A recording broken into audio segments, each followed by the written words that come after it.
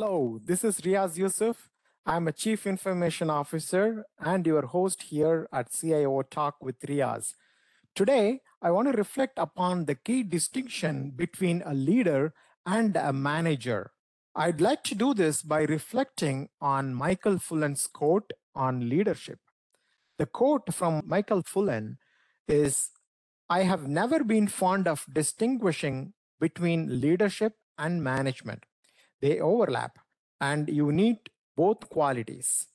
But here is one difference that it makes sense to highlight. Leadership is needed for problems that do not have easy answers. By Michael Fullan in the book Leading in a Culture of Change. Michael Fullan's quote underscores the intricate relationship between the leadership and management emphasizing the need for a harmonious blend of both attributes. While these roles often intersect, it is apparent that they possess distinct nuances that cater to varying challenges within an organization. The quote brings forth a key distinction between the two Uh, the demand for leadership in tackling complex problems lacking straightforward solutions. In such scenarios, leadership shines as a guiding light, steering the organization through ambiguity and uncertainty. Leadership's essence lies in navigating uncharted territories, inspiring innovative thinking, and rallying teams to explore unorthodox avenues to tackle the challenges. As I mentioned earlier, I hold a leadership role in IT. In every IT project or initiative, a degree of uncertainty invariably emerges, often more than just a few uncertainties. As a leader, my responsibility lies in steering both the team and the organization to confront these unknowns head on and extract the maximum benefit from the situation.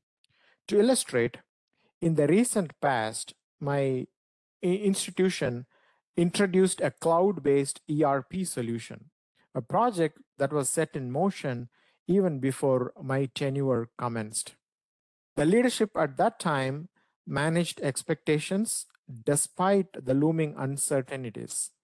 Upon joining the team, I seamlessly continued this task by establishing clear expectations and facilitating effective communication. In times of uncertainty, communication emerges as a vital instrument for guiding teams. Presently, we enjoy the stability of an ERP system that has evolved through successive waves of obstacles and trials. This stability stands as a testament to our ability to navigate challenges and emerge stronger. Indeed, a leader isn't required to possess all the answers, nor is it feasible for them to do so. The reality is that expecting a leader to possess an exhaustive understanding is impractical. Instead, effective leaders engage in collaboration, harnessing the power of collective wisdom by pooling insights from various sources they enrich the decision making process and enhance the overall outcome. In essence, Fullan's quote underscores that effective leaders possess a, a duality of roles.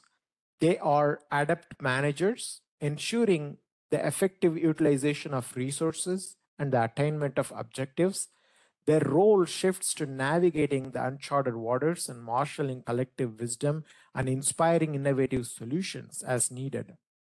Ultimately, the fusion of leadership and management talents is essential for comprehensive organizational success.